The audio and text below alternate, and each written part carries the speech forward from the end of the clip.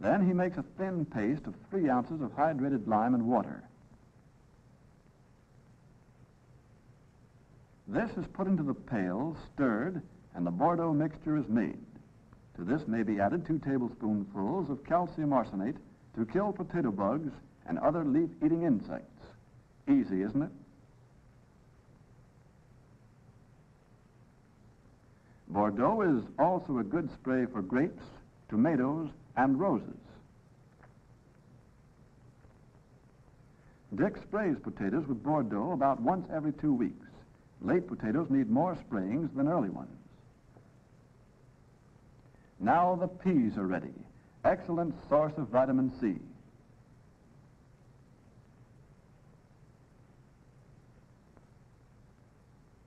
Cabbage, too, is ready to eat.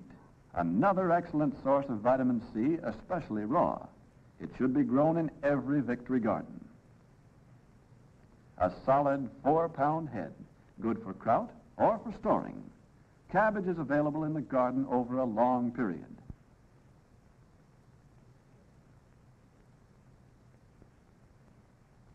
Carrots are rich in vitamin A, needed for night vision and building up resistance to disease.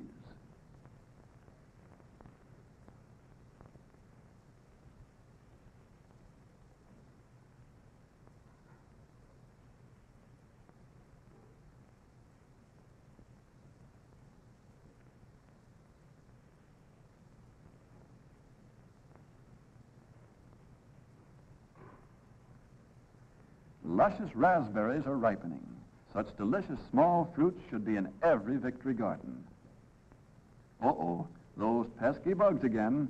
This time it's the Mexican bean beetle, a bad pest in the south and east. The young yellow beetles may strip a plant completely in a week or two. A complete generation occurs in 35 days. Rotenone and cryolite dust is the remedy. Beetles feed on the undersides of the leaves, so Dick makes sure to reach them with the dust. One of the common causes of failure of lima and green and wax snap beans is bacterial blight. Leaves are blighted, pods and seeds are spotted. This disease is carried with the seed. Western grown seed from reliable firms is recommended.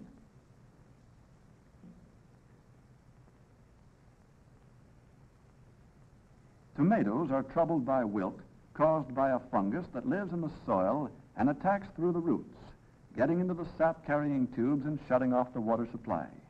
The plants die. This blackened, woody tissue is the sign of wilt. Only resistant varieties should be grown on wilt-infested land. The fungus does not damage seriously resistant varieties like Marglobe, Rutgers, Pritchard, and Pan America. A similar disease affects eggplant. Note the darkened tissue in the cut stem. The remedy is rotation of crops. The clean white appearance of this stem indicates a healthy plant. Here's the pesky old corn earworm. Eggs are laid and hatch in the silk. A mixture of white mineral oil and pyrethrum in the silk at the right time helps to control them. Smut, another corn enemy, attacks all parts of the plant. On tassels, it does not lower yields much, but on or below the ear, it is damaging. Leaf blights also affect corn. Sprays do not control these diseases, but resistant varieties of corn are being developed. Downy mildew is one of several leaf diseases that interfere with successful production of cucumber and related crops. Another is anthracnose. It affects both the leaves and the fruit. It spots and blights watermelons and muskmelons, decreasing yields and reducing quality of fruit. Bordeaux and copper lime dust are used for these diseases. This garden pest is easy to stop. Just keep the gate closed and the fence tight. No holes.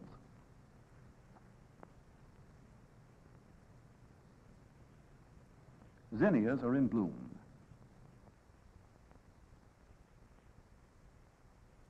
And the crops are beginning to roll out. the last of the early Irish cobblers.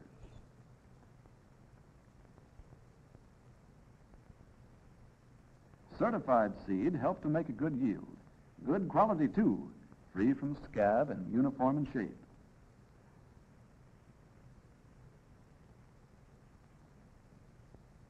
Much of the nutritional value of beets is in the tops, so it's wise to use them young when the tops are edible.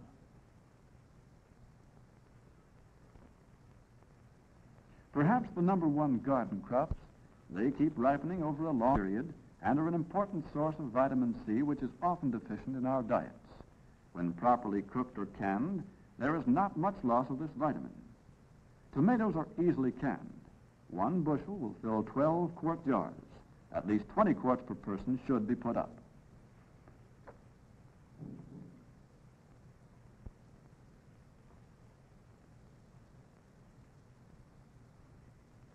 Corn tops against the sky. Yellow varieties of corn contain vitamin A. Both white and yellow contain small amounts of minerals and vitamins as well as starch and sugar.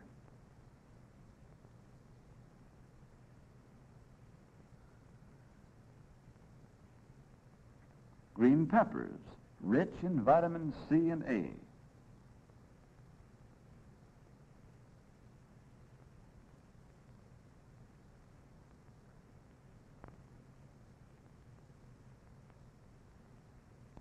pole beans to use, green, dried, or canned. And Swiss chard. Chard can be used throughout the summer. The Holder garden has plenty of such green leafy vegetables, turnip greens, mustard greens, spinach and collards, all fine for fall and winter use. And that just about covers the Holder Victory Garden. Just one of thousands of such farm gardens. Just a sample that you can match in most any community in America. Each a health insurance policy, a dooryard savings bank. Each a vitamin mine from which you can take stuff more precious than silver or gold.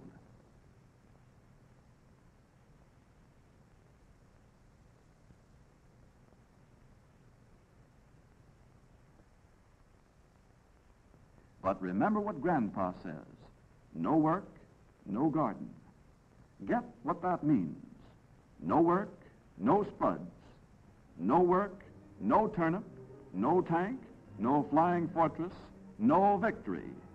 Bear that in mind, all you victory gardeners, and work for victory.